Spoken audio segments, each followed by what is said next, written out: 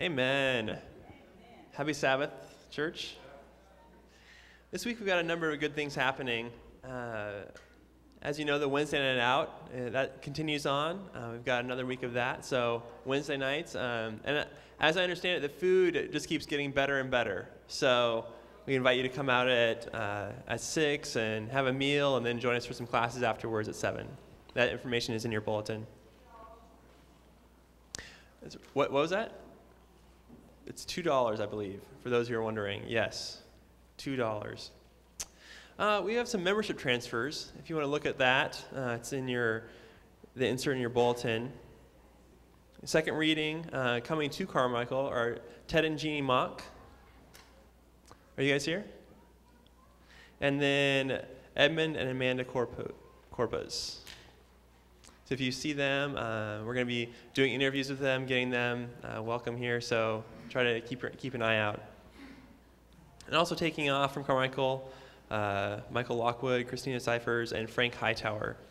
Now, I want to let you know uh, with Frank Hightower, um, he asked me to pass on that uh, he's really been blessed by this church, uh, and he, he's liked his time here. Um, he's moving his membership because he lives down there and has been asked to preach on occasion and help out with different areas of their church, so he felt like he should be a member down there. Uh, but his wife, Hosea, uh, is still blessing us with her presence. So Hosea is just, I was talking to her this morning. She just wanted to let you know she has just been blessed so much by this church. Um, she's been a pastor's wife, and so she's had to move around quite a bit with her husband. And she said she's f- glad to finally have a church where she can call home and just relax, and just enjoy all the people who are here. So thank you for making her feel welcome. So, can I have a motion to uh, accept these transfers? Second? All right. thank you. Um, today we have a, visitor's luncheon. Um, and you'll also see uh, they were hosting, uh, that the greeters are hosting today's luncheon. So we invite you to check that out afterwards. Uh, for those who are visiting, uh, it's a great time to get to know people in the church and just to kind of have the time to meet people, um, connect with friends. We invite you to join us for that after the service. Uh, CCK invites you to save the date, Saturday, November 1st, uh, for the Heroes Unmasked. Uh, I, am happy to announce that I'm going to be King David, uh, and you have many other people that are going to be uh, exciting Bible characters, and we want you to come check that out and be a part of that. Uh, bring your kids and it's going to be a good time. Now, um, we also wanted to let you know that there's an exciting announcement for flowers today. Uh, these flowers are provided by the birthday twins of Mike Breckenridge and Dwayne Witzel. Um, they became aware that they had a twin in Carmichael, someone who was born on the same day they were. And so this is letting them, letting you guys know of the joy that they've had from meeting people at Carmichael. So uh, that's the, the most uh, unique flower announcement I've ever made. And so I'm just, it brings joy to me to be able to explain that to you. uh, finally, as you know, um, we've got the Fall Festival uh, coming up this Sunday, uh, Sunday, October 26th, uh, from 10 a.m. to 2 p.m. And that's, that's great. it's good food, um, good games, so we invite you to mark that in your calendars as well. And finally, uh, I believe uh, Lois, are you, are you here to talk about Bags of Love as well as Suzanne Dizon? Uh, if you guys would like to come up and uh, share about our exciting outreach opportunity happening next Sabbath. Happy Sabbath. Isn't it beautiful out today? I'm so glad it's Sabbath. Come on over, Lois. We are here to remind you this is the last Sabbath before we have our special um, community service day.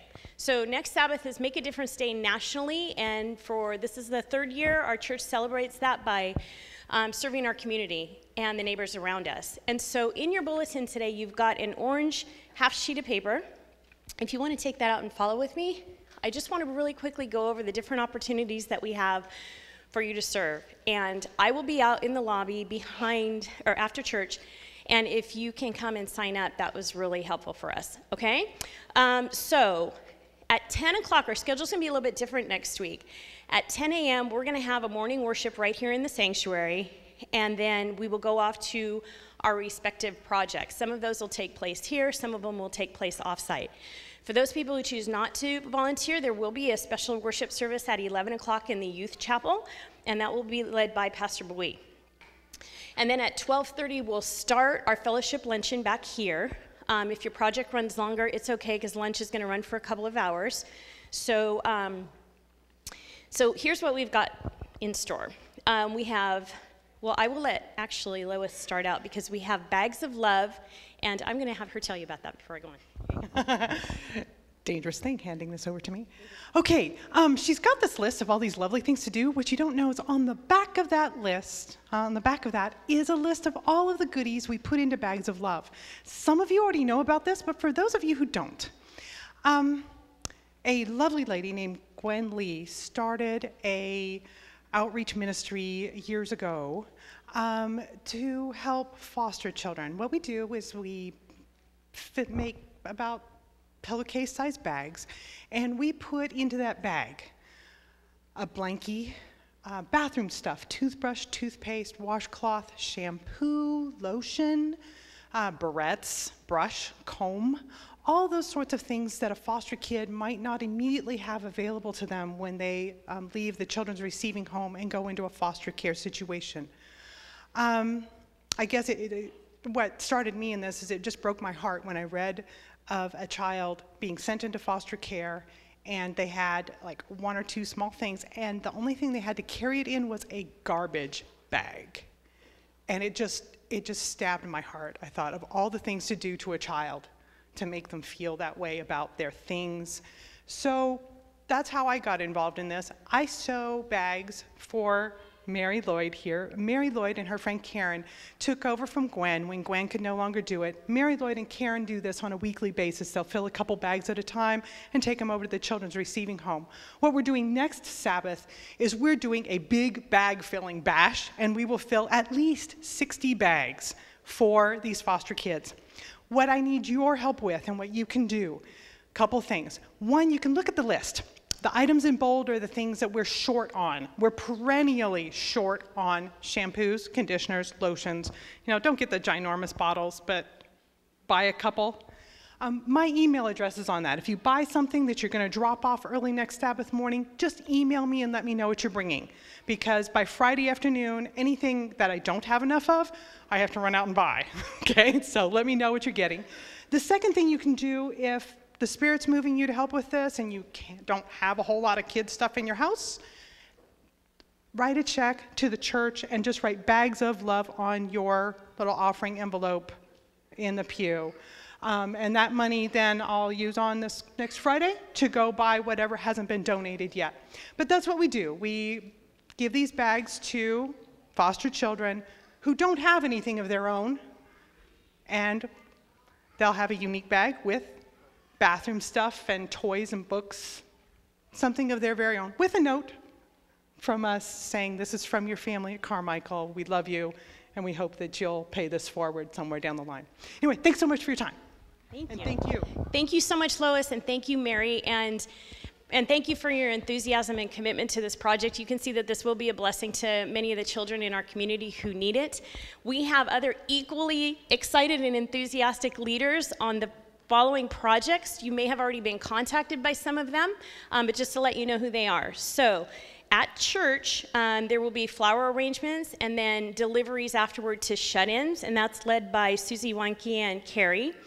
And then the youth will go out and do a harvest uh, at a field that a um, farmer allows us to harvest every year. And the proceeds, what we gather in um, produce from that field is donated then to the Sacramento Food Bank. And the lead on that is Benji, Pastor Benji. Um, there is a men's worship team for a local senior care center, and leading on that are Robert Jackson and Art Garbutt. So thank you very much for sharing your talents there. Um, we have a cookie assembly and delivery. So what we've done in the past is everybody who's able to here brings in baked cookies, and we need lots of those. So if you're thinking of volunteering for a different project, we still ask you if, you're, if it's possible for you to bring baked cookies. You can bring them at Wednesday night out, or you can bring them on Sabbath morning. Then we have uh, Weaveworks donation sorting. Uh, women's empowerment, we need to spruce up a little couple rooms there.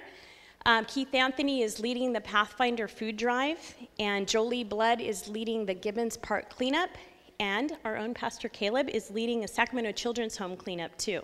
So thank you in advance. You are all the early birds. I think this church will be doubly full by the time the service is over today. So I would just encourage you to whisper to your neighbor to pull this out and pick a pick a project and bring somebody along with you, and we will be really excited to see you next Sabbath. Thank you. Great. Thanks, Suzanne. Thanks, Suzanne.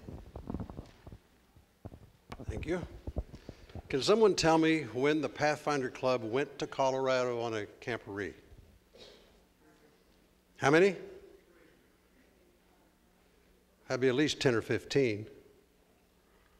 Well, that was the last time I called for an offering. And I haven't been asked since.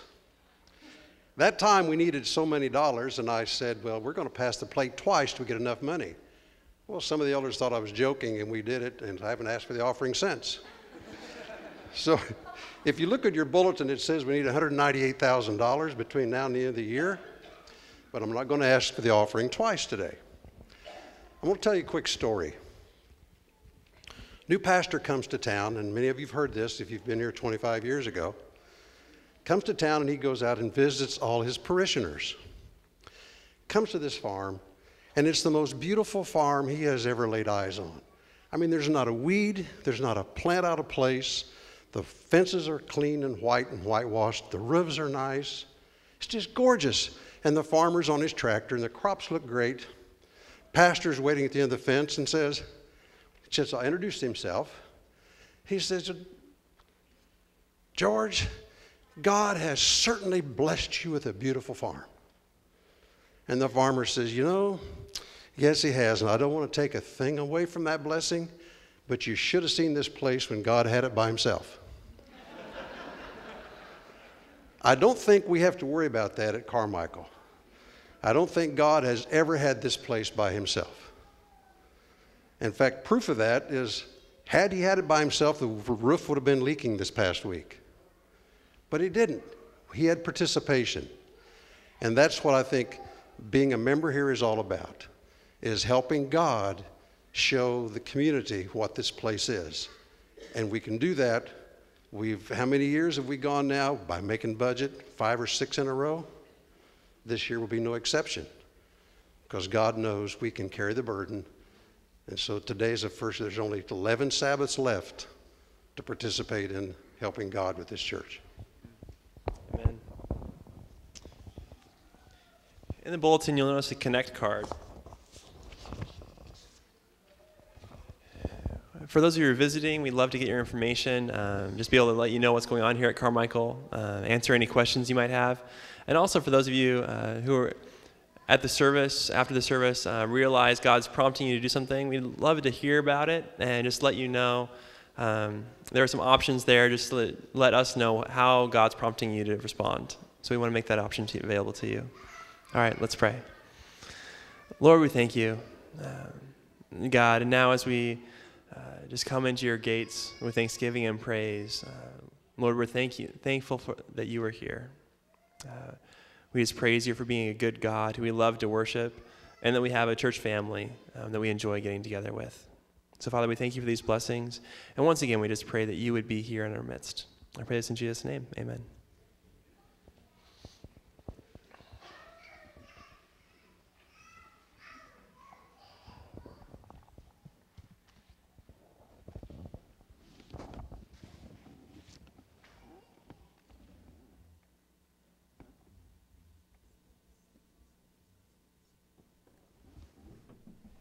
King David in Psalms 145 declares this I will exalt you, O my God, the King.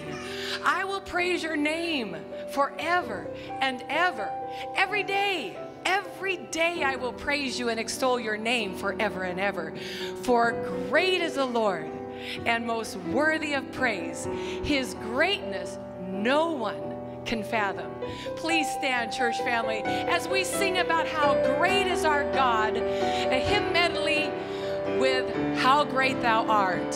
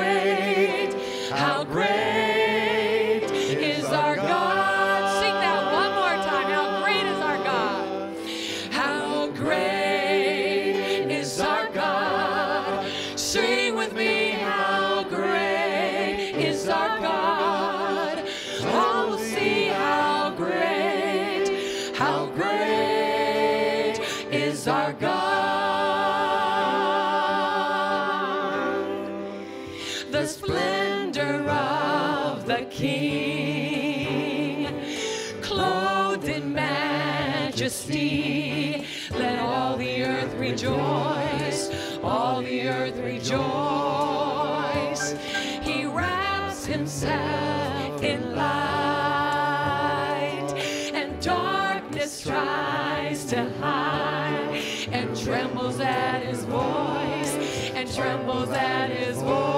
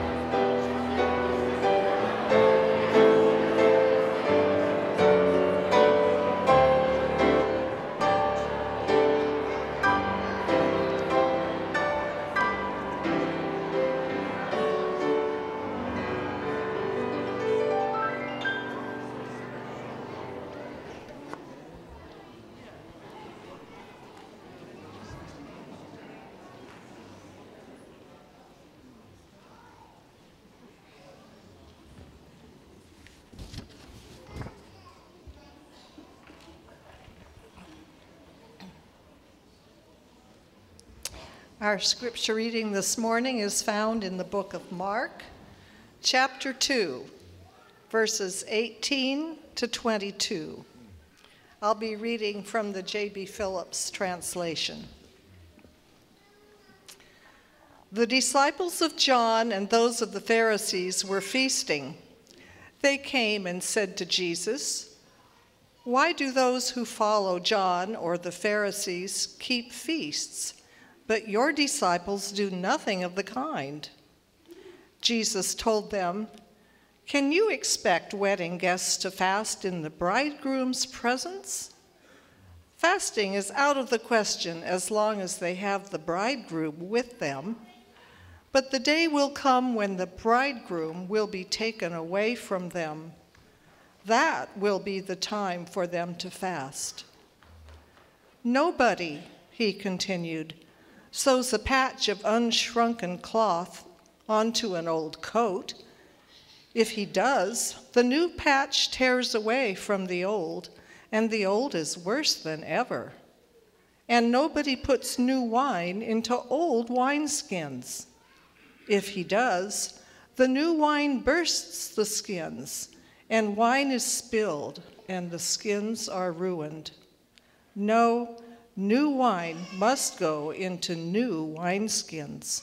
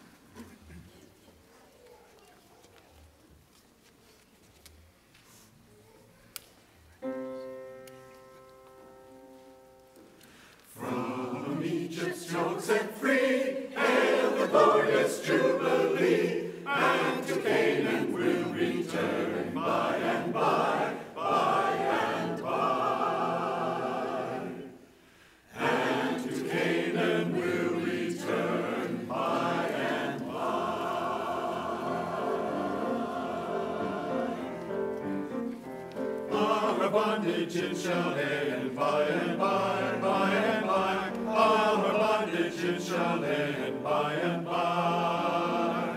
From Egypt's throne set free, hail the glorious jubilee. And to Canaan we'll return, by and by, by and by. To Canaan we'll return, by and by.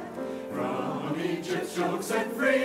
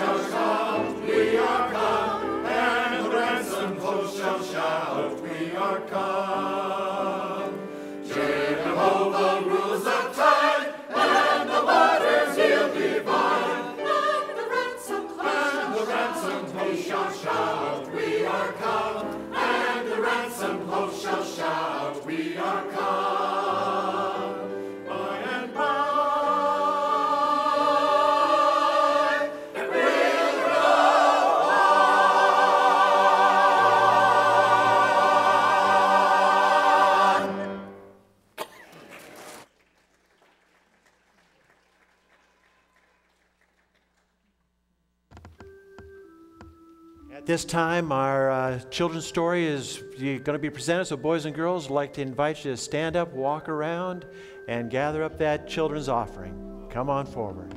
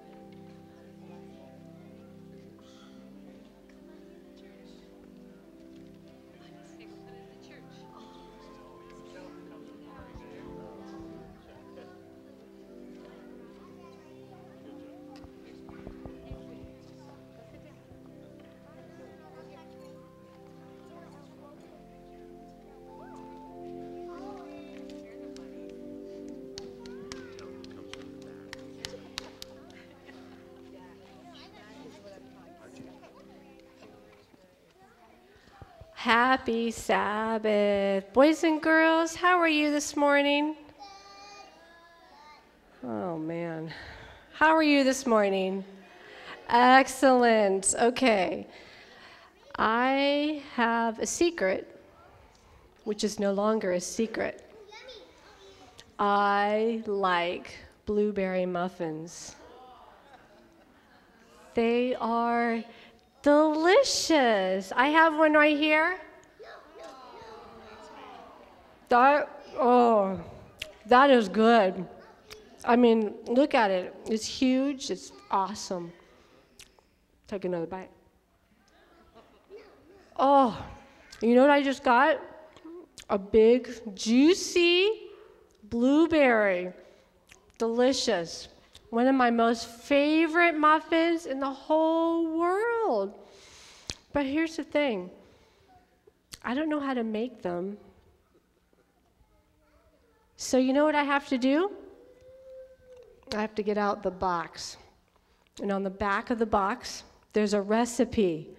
Oh, thank goodness, because I would have no idea what to put in blueberry muffins. So I'm looking at the recipe and I just follow it. And if I follow the steps that are listed on the recipe, I know that when the oven timer goes off, what's going to come out? A beautiful blueberry muffin. Should I take another bite? I'm telling you, so good. That's delicious. Okay, so the recipe tells me that I need some milk,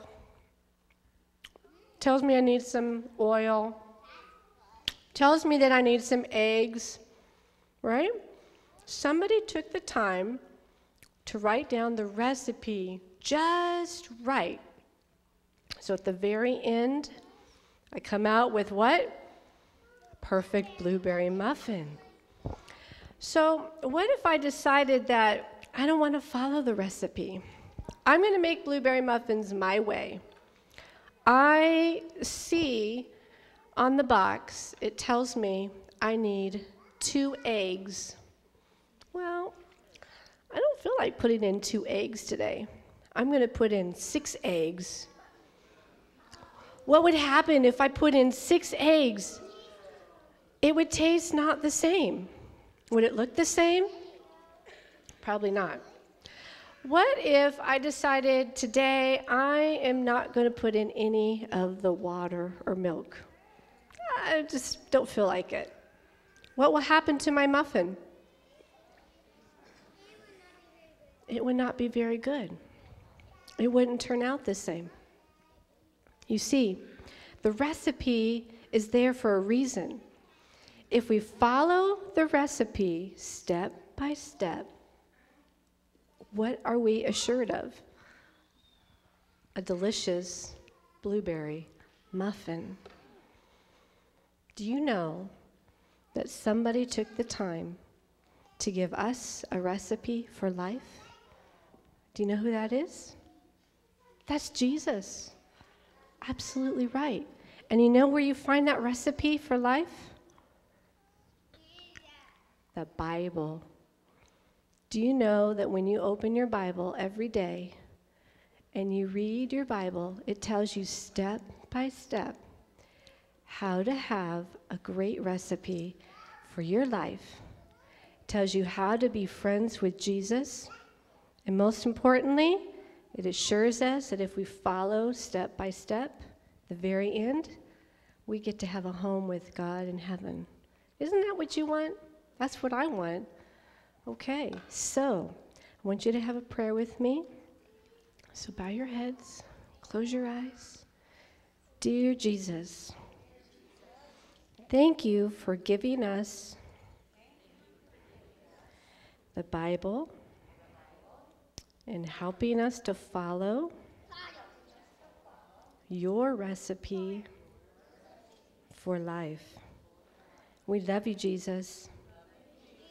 Amen. Okay, you can go back to your seats.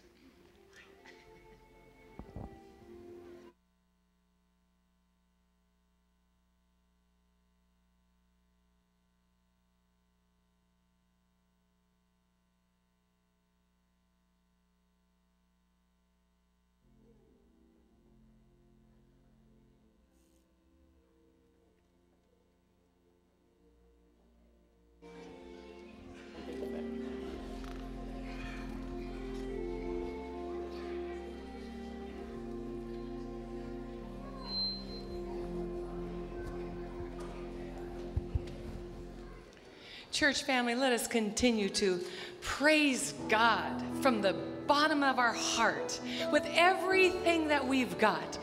God says very clearly in the scripture that I inhabit, I dwell in your praises. He is so good to us.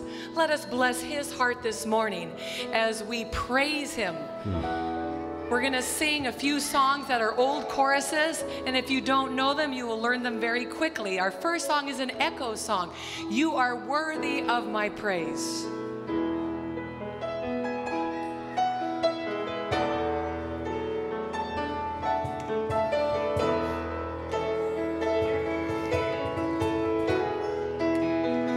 Here we go.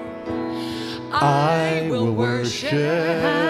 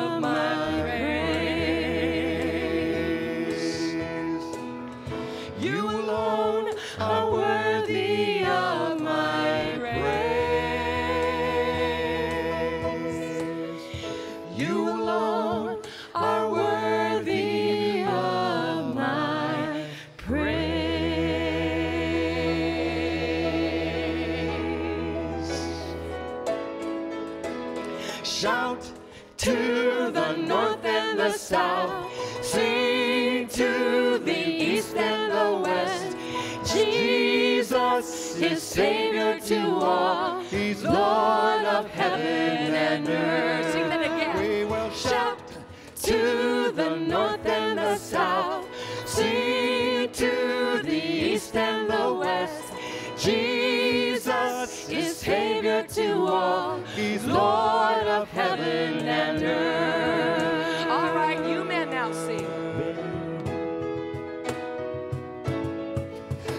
Of faith, rise up and sing of the great and glorious King. You are strong when you feel weak, in your brokenness complete. Ready? Let's all together sing, shout. Shout to the north and the south, sing to the east and the west. Jesus is Savior to all. He's Lord of heaven and earth. Women now. Rise up, women of the truth. Stand and sing to broad.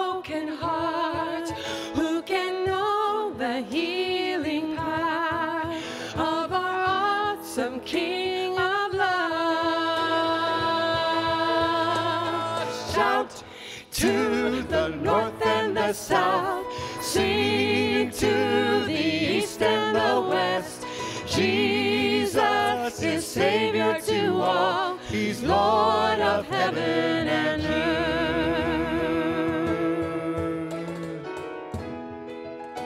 All together. Rise up, church, with broken wings. Fill this place with songs again of our God reigns on high. By his grace again we'll fly. Shout to the north and the south. Sing to the east and the west. Jesus is Savior to all. He's Lord of heaven and earth. We will shout to the north south. Sing to the east and the west. Jesus is Savior to all. He's Lord of heaven and earth. Yes, He's Lord of heaven and earth. Yes, He's Lord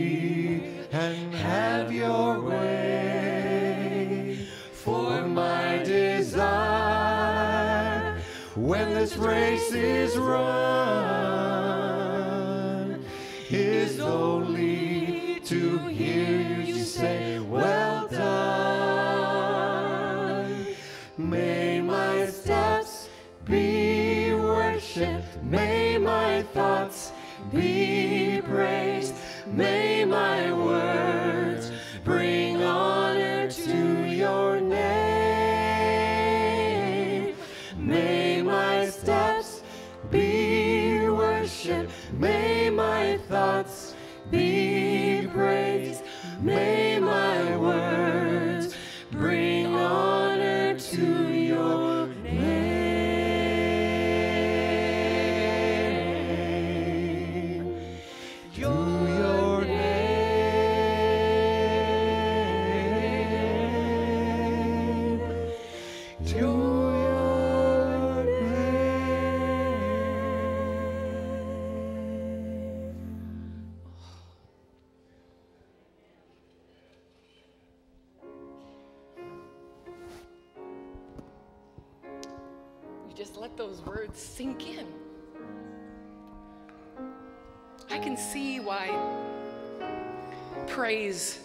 such a wonderful discipline because it doesn't change the heart or the mind of God, it changes us. He speaks to us through melody, through words, through the recipe of God's Bible. As we come into our time of prayer, we're going to switch it up a little bit and sing an old hymn that we rarely sing, but is one of my favorite hymns. And I want you to open up your hymnals in front of you to hymn number 574. And we're going to sing this powerful hymn and invite as we come to his throne, asking God to just let us walk with him, not only today, but 24 7. O Master,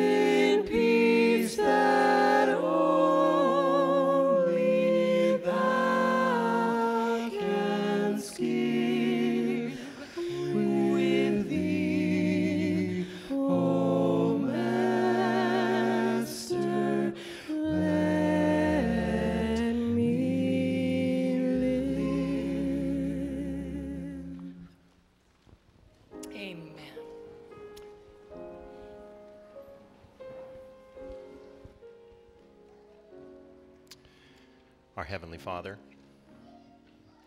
we're grateful to be here this morning. We've praised you. We've proclaimed your greatness. And we see it all around us. May we not miss the opportunity to claim who you are in our lives, to claim your promises, and therefore be witnesses. Thank you so much for this Sabbath. We thank you for our prayer service, our service this morning so far, our opportunity to praise you as a group here, for these songs, for this time of sharing. And we thank you so much that we are a group that is devoted to just that, your praise. May our lives be a, um, a reflection of what you've done for us. Lord, we pray for our church body. We pray for our pastors. We pray for our ministries, and, and we hope that everyone will find opportunity in our upcoming community service day. Lord, we also pray for our members. We are grateful that our brother Otoniel is back with us after having surgery on his eye, that he is here worshiping with us, ministering. We are so grateful for that, Lord. We pray for Tom Osborne, whose surgery has gone well. We wish him and we pray for a speedy recovery. Amen. We also hold up our, our brother Clemone, yeah. our sister Irene Bond. Lord, they don't just need your care and your love, they need our love as well, not just our prayers. Thank you for our pastors and the ministry that they do for us here. We hold up them, their families, and we also hold up Pastor Keith today. May his word touch us, reach us, and impress us as you would have it. Guide us throughout the coming week, Lord. Help us to remember that we don't just minister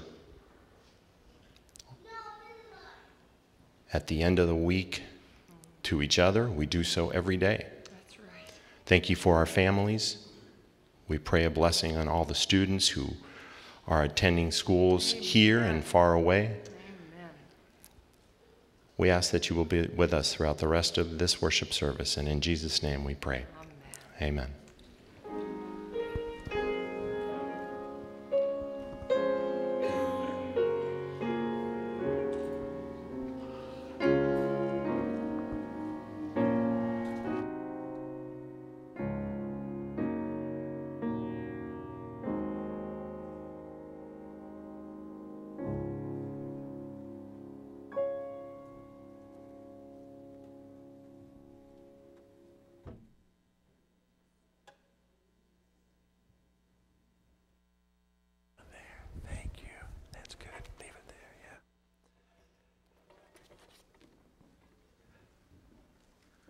Happy Sabbath, church. Carmichael, are you blessed? Amen, amen. I understand, listening to some of you, that there's quite a few of you who have been running, and I guess maybe uh, my ear's in tune with that because I've decided that I'm going to run too. Uh, yeah, it's kind of a dangerous thing to say when there's a lot of uh, voting in the future. I want to be clear, I'm not running for office. Uh, I, am going to be running with some of you in the, uh, in the uh, run coming up in December. I'm just curious, how many of you are, running in the CIM? Would you please stand up? How many of you are running? Would you please stand? Wonderful, wonderful. Okay, okay. That means there's Steve. I think you've been. You, have you been in every one of them? Wow. That. How many has that been? 32 coming this year, and you've been in every one of them. Hallelujah. Wow, that's cool. That is wonderful. Wow, wow, wow, wow. I don't know if you can pick him out in there, but he's in that crowd. I, that's, that's, that's the guarantee. Steve is in there. It, it's really a lot of fun if you've ever been involved in a run, whether it's a marathon or a short run. I know a, a number of us are not running the entire marathon, some of us are running segments of it. One of the things I always look forward to in the run are the volunteers.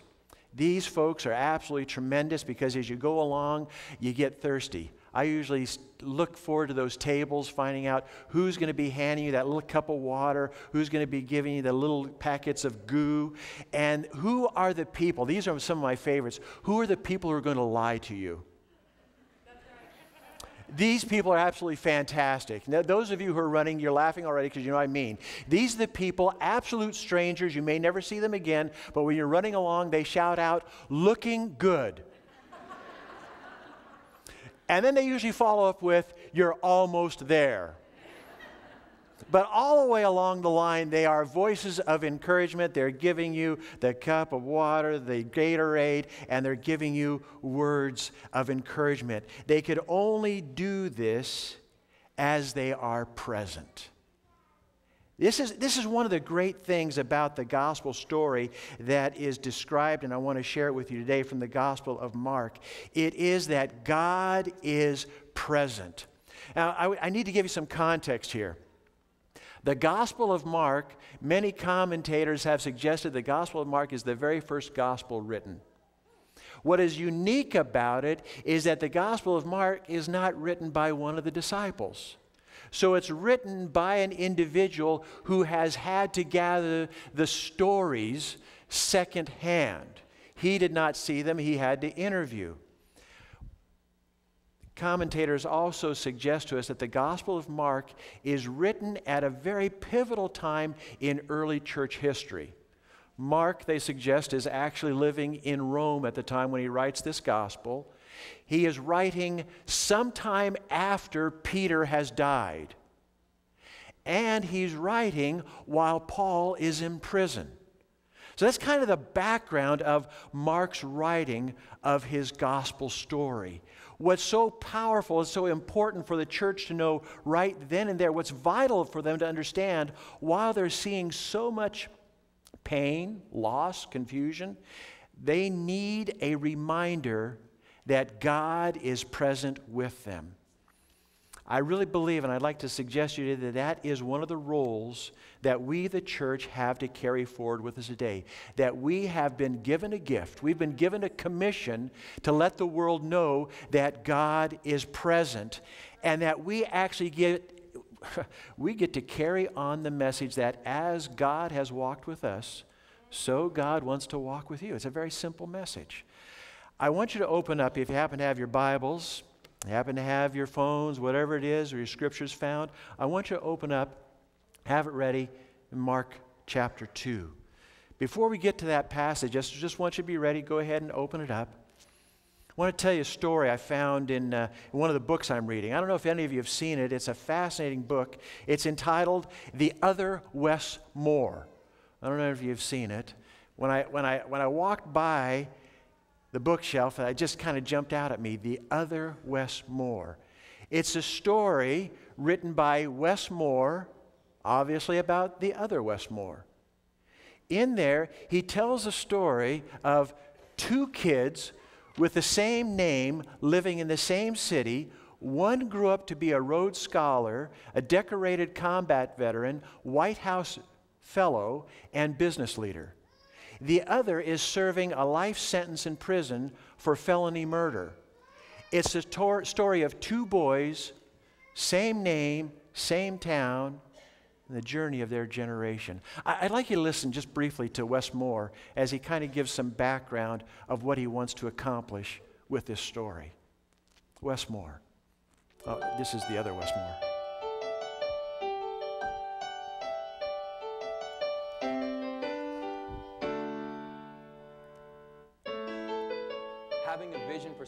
Bigger matters. I know how different my life could have been. And I know that because I know a lot of the cats who I grew up with, their lives are a whole lot closer to Wes's than they are to mine right now. This is not a true crime story. This is not something that's meant to cast some revisionist history about what happened. This is not meant to reopen cases. This is not meant to cast judgment on sentencing. But it's meant to keep people from ending up in Wes's situations ever. One thing I try to be very clear about, I don't want to necessarily tell people what to think. I'm just asking them to think. As you're going through life, think about how your life could go in completely different directions based on the things that you decide today and the things that you decide to do every day and what you decide to make your habits. And that became the motivation behind this whole point. That became the motivation behind this whole project. And this was a very difficult process because it forced me to ask questions that I never asked before. It forced me to dig deeper into my life in a way that I never thought I would ever have to. The chilling truth is that his story could have been mine, and the tragedy is that my story could have been his. Had it not been for those folks who helped me understand that, had it not been for those people who helped usher me into manhood in the way that they did, things could have been very different. I didn't want it to just be a book that people read, but I wanted it to be a larger call to action. The whole point was to actually have a conversation and to talk about the realities of not just these two boys, but the realities of all of us. There's nothing more important than when you think back on your life, the fact that you made your life mean something. Wes's fate is sealed. The question I wanted to ask was why was Wes's fate sealed long before February 7 of 2000? The biggest gap that we have in our society isn't necessarily the education gap or the technology gap, but it's the expectation gap. How do we help people think differently about their lives, and how do we think differently about the lives of others? That is the key hurdle that we've got to get over because once we get over that, everything else is just details.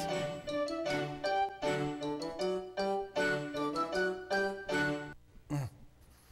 That is the keyhole.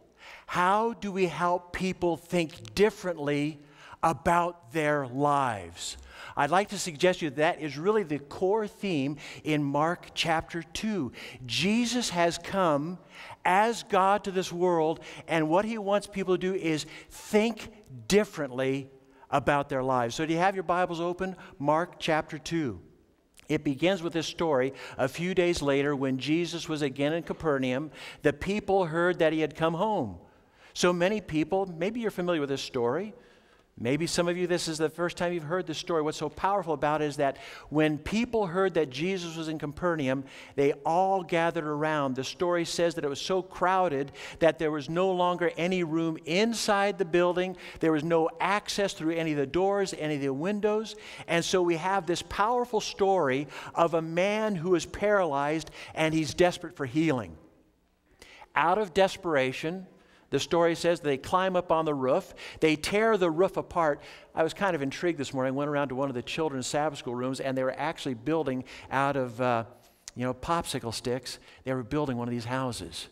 And they were actually reenacting this story. So, boys and girls, I want you to know this story is so real. It's so wonderful because it tells a story of well, Jesus is trying to get people to think differently about their lives. He knows he's paralyzed, he knows he has a need. What he does not know and what his larger community does not understand is that God is available and that God is willing. God does not need to be convinced. It's the other way around. God is desperately trying to convince us that I am available. And so the ropes are lowered down through the roof. Paralyzed man is there. When Jesus saw the faith, he said to the paralytic, Son, your sins are forgiven. Now, here's where the story starts to get a little bit complicated because there are others in the room watching. They did not bring the, the paralyzed man. They're, well, as it says right here, they're teachers of the law teachers of the law were sitting there thinking to themselves, why does this fellow talk like that? He's blaspheming. Who can forgive sins but God alone? Now, notice, immediately Jesus knew in his spirit that this is what they were thinking in their hearts. And Jesus says, Why are you thinking these things? Jesus poses a question because he wants them to think differently. I'd like to suggest to you that this is one of the core themes here in Mark chapter 2. Jesus wants them to think differently. How's that go with you? Do you like thinking differently? I'm really amazed there's not a single amen. Yeah? The, the truth is that most of us have our patterns of thought. We have figured out how things work for us, and I don't want that to be messed with. That, there we go, there we go. I, and I say it right with you. Amen. Once I have my pattern set, I told you last week, I altered my pattern, got into a car wreck. That's how that works. Why are you thinking these things? Which is easier than Jesus probes? Which is easier to say to this paralyzed man, Your sins are forgiven, or to say, Get up and take your mat and walk? But so that you may know that the Son of Man has authority on earth to forgive sins, I need to pause here for just a minute. I'd like you to put your fingers right on that little phrase there in Mark chapter 2. Jesus says, so that you'll know the Son of Man. Church family, this is a pivotal statement that Jesus is making at the beginning of his ministry. The term Son of Man comes directly from Daniel chapter 7. In the prophecy given to Daniel, it was foretold that the Messiah, the anointed one, would come. The Son of Man would be present on earth. When Jesus stood in that room, he was boldly declaring, prophecy is being fulfilled today. The Son of Man has come. Anyone who is connected with Scripture at this point, they're saying, wow. The challenge that they're having right now is that Jesus was coming differently than what they had imagined. Jesus was looking different and he was acting different. But in order to show that he had the power as Son of Man to do this, he said, I forgive your sins and get up and walk.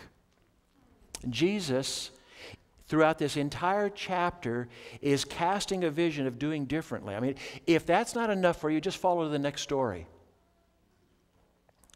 Immediately following this healing story and this dialogue comes the story about Jesus taking a walk out by the lake. It begins in verse 13. Jesus again went out to the seaside. A large crowd followed him, and he began to teach. As he walked along, verse 14, as he walked along, he saw Levi sitting at the tax collector booth. Ah, the story now starts to gain a, a fascinating momentum.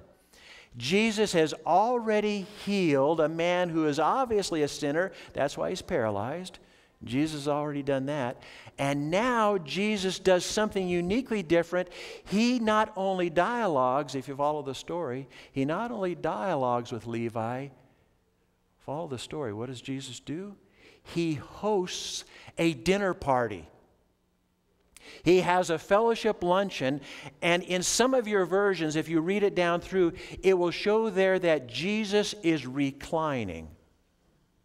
Jesus is putting himself in a posture by his entire body presence. He is stating to Levi and his buddies that I am at home with you. I am comfortable with you. Oh, how I want to be like Jesus.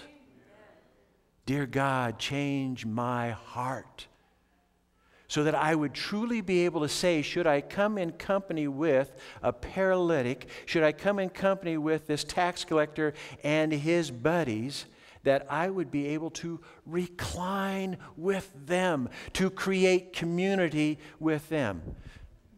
Now, in the story, it's absolutely amazing. I want you to come down to verse 16. When the teachers of the law who were, and the Pharisees were saw him eating with the sinners and the tax collectors, they asked his disciples, Why does he eat with the tax collectors and the sinners? You got to pause there. What's fascinating about this particular word in its context, the Pharisees did not use this term sinner as falling short of the glory of God. This particular Greek rendering gives the idea of social economic challenge. These are the people who had to work common jobs to the point that they were breaking the oral law. I, I, said a lot, and that may not make a lot of sense. So let me back up. These were Jews whose occupations, maybe due to their education, maybe due to their circumstance, had the jobs where they might be touching untouchable stuff. They might be doing jobs that the rest of the church family would say, I would hire you, but I wouldn't eat potluck with you. I would employ you, but I would never go on vacation with you. I would sign a contract with you, but I pray my child would never date your child. Is that kind of making the point? These were church members being judged by other church members as not deserving the reclining presence of anybody, let alone God. But God had made it clear I will recline if I can restate it, I will recline with the lowest of the low. That, that's what exactly what he was doing. I will recline with the lowest of the low. Are, are you kind of getting a pattern of what's going on here in this chapter? Jesus comes as God and he comes as a change agent. Now, the very next story, it comes to this. Mariella read it for us. I won't read the entire thing, begins at verse 18. Now, John's disciples and the Pharisees were fasting. Some people came and asked Jesus, How is it that John's disciples, the disciples of the Pharisees, are fasting, but yours are not fasting? Mm. This story, these, these verses are just so ripe with the power and the presence. You see, there were four main fast days in the Jewish annual calendar system. Some commentators have suggested that this particular fast had to do with the most significant of them all the Day of Atonement. When the entire community should be in a spirit of fasting. And as they're looking around, all the different religious groups are doing the respectable the traditional. They are good, wholesome Jews. And suddenly they look at Jesus, and what are they doing? Oh, could I have some more of that? They're eating. Jesus is confronted. Why aren't, you know, you read it already. Jesus very simply says, I'm present with them. And when I am present with them, they can't act as if I'm gone. I am present, and my presence, church, here's, here's where this really confronts us. My presence rewrites your traditions. That's what he really is getting to when he gets into this powerful illustration of new cloth, old cloth, old wineskins, new wineskins. This is perhaps the point where we as Adventists, fundamental Christians, are sometimes challenged with how gracious and how consistently available God is to the brokenness in the world.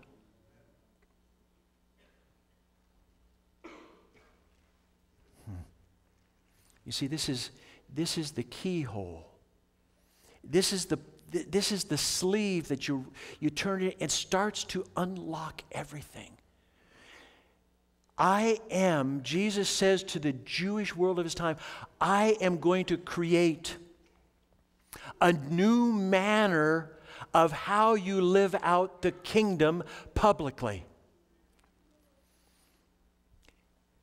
What Jesus does in these passages, he deals with not only the forgiveness of sins and healings, he touches one of the core values in the Jewish economy. Jesus starts to, well, fulfill.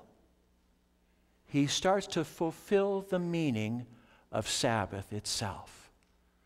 I have sometimes wondered, haven't you wondered at different times why the gospel writers put different stories together? And, and this is one of those chapters that I, I've really been fascinated with. Why is Mark, as a historian, collecting these stories together? What's his point? Hmm. The very next story, after talking about fasting, Mark then gives this story one Sabbath, Jesus was going through the grain fields. You know this one? And as disciples walked along, they began to pick some heads of grain. The Pharisees said to him, Look, why are they doing that which is what, church? Unlawful. The Pharisees have said, You are harvesting, you are gleaning.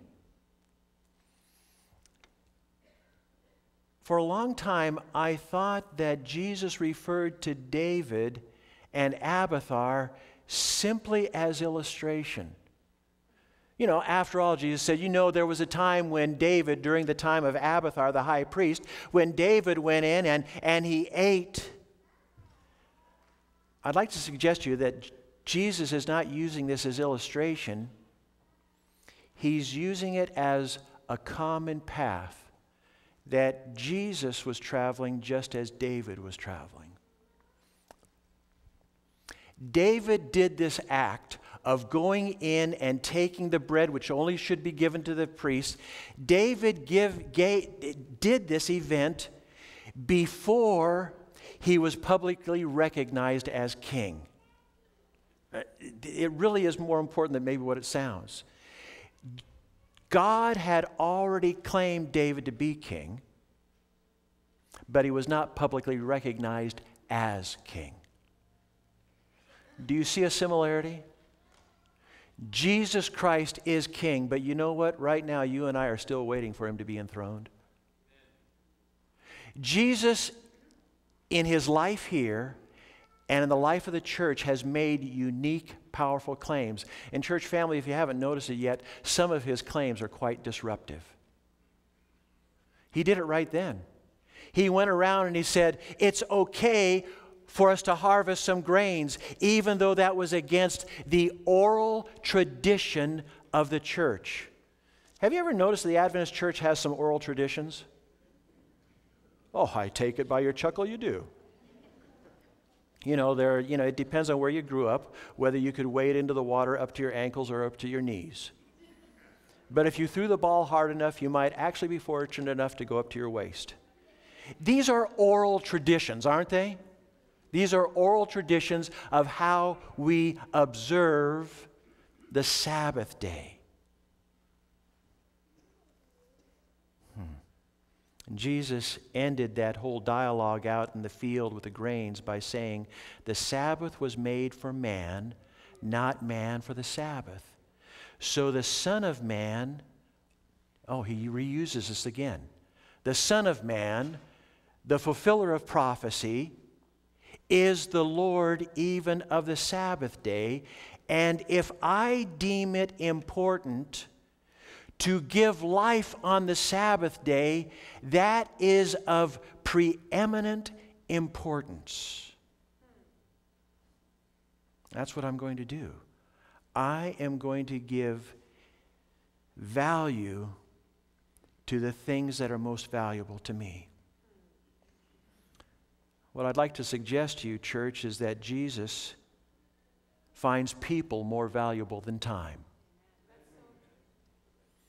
I'd like to suggest to you that when Jesus hung on the cross, he did not hang on the cross to redeem a sundown to sundown event.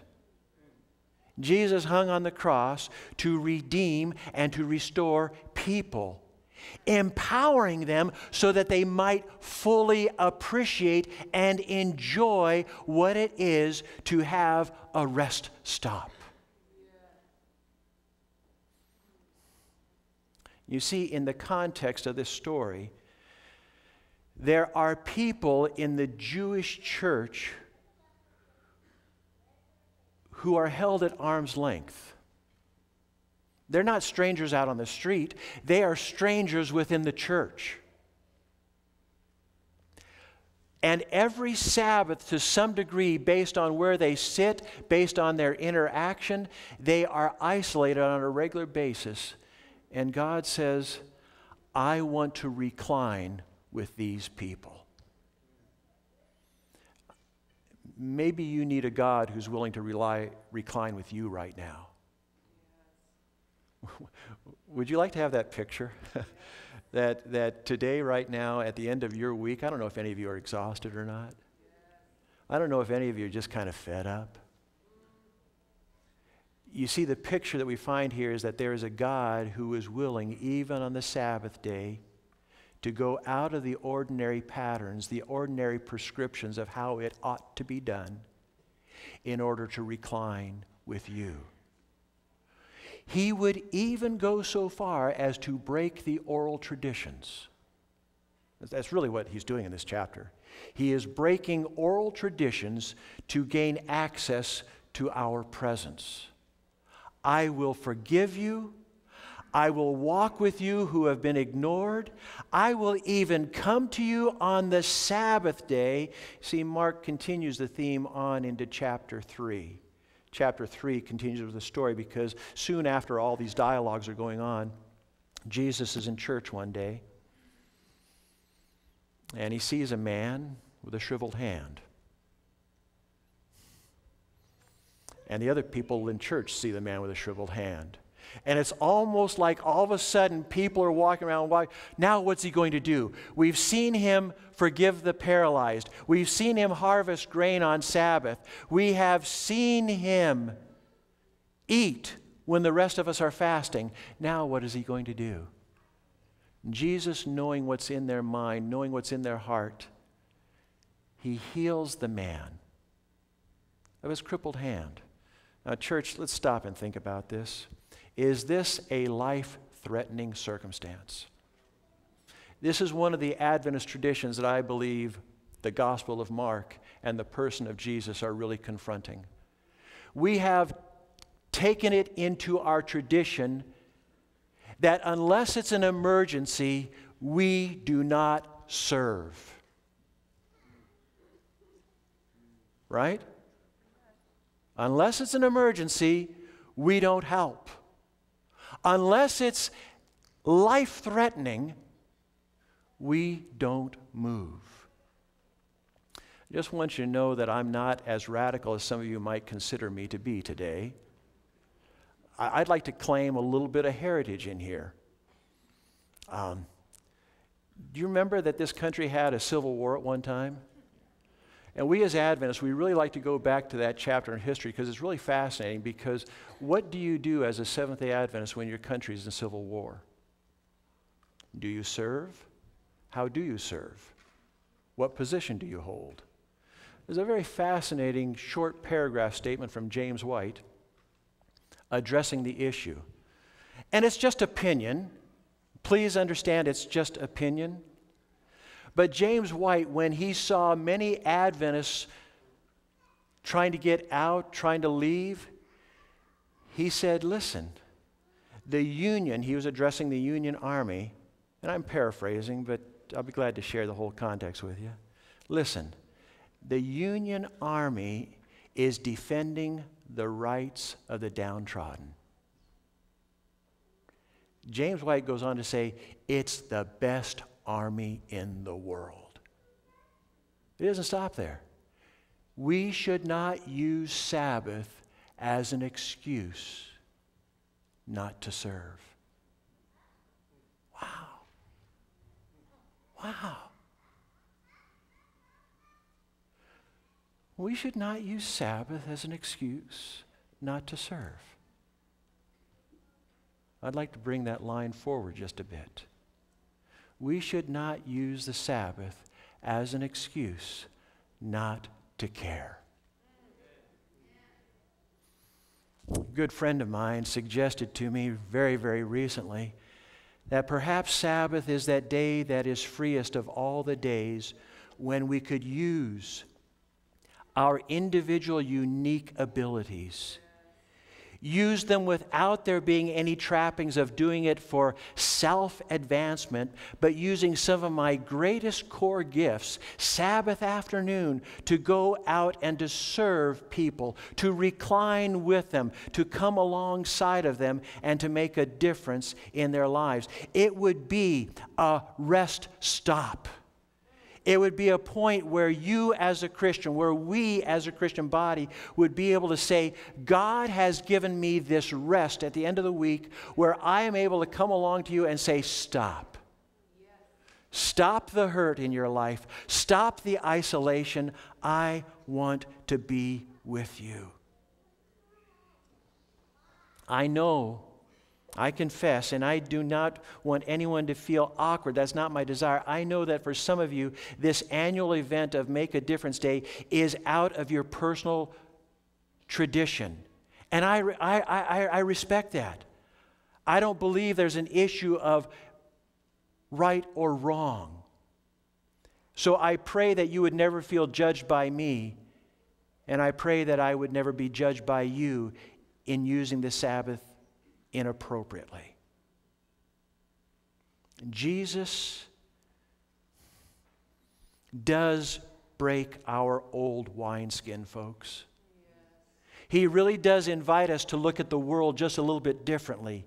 He does invite us to engage with our communities in different patterns. He's the creator, He's the liberator, He's the recreator. And sometimes I believe that Jesus is going to invite us to share in those different roles in ways that might just at the beginning point cause us some level of discomfort. There's in your bulletin something. It's not only the insert that says what we're going to do next week, it's Open up your bulletin, you'll see that there's the card. It says, Thank you for being such great neighbors from the Carmichael Seventh Adventist Church. There's a list of different things that are going on at the end of the year here, inviting them to that. I want you to have this in your personal possession Because while this is something that we're going to hand out door to door right around the church facility, I would specifically like to invite you, the congregation, to come in Mass next Sabbath. To bring the cookies, to have so many cookies and so many bags that we won't be able to just do our own immediate neighborhood. I'd like you to take some bags of cookies home to your own personal neighborhood. I'd like to invite you to walk around where you live and touch people, get acquainted with them. Do you know that there are some people in worship with us today who have been blessed by a lady who simply went around her neighborhood and gave away cookies? Steps to Christ with it, a promise of prayer and friendship. There are people who are in church here today because someone went door to door with cookies. Wow. How radical is that?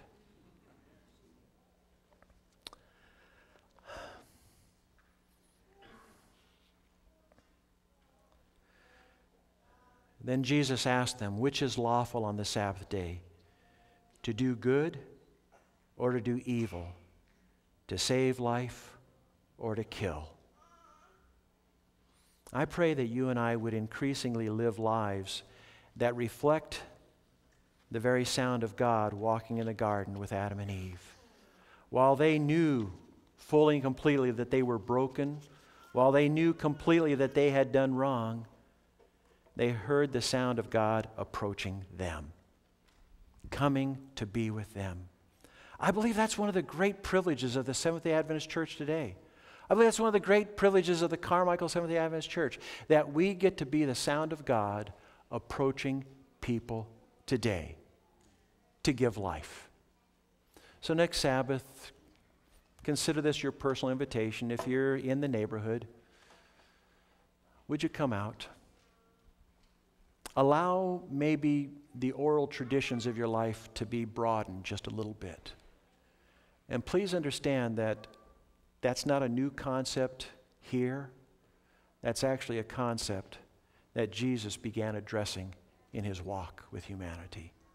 Broaden the territory of his kingdom. Dear Jesus, this morning we make a confession that we don't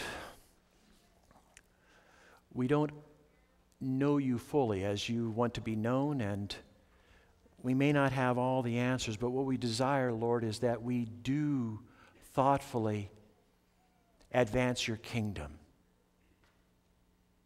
Expand our own hearts, expand our own sensitivities to know how we can engage on a regular basis with a world that, that needs to know there's hope, needs to know that there is a God who loves to recline with humanity. So I pray right now that if there's anybody here that's particularly lonely, that maybe today in worship they would have been reminded that there's a God who would love more than anything else to just to come and spend time with them, to give them rest, to give them a pause. And I also pray that we who have received your pause, we who have received your rest, that we would find it a holy freedom to extend that rest with others. Let your kingdom come and let your will be done. In your name, amen. Amen.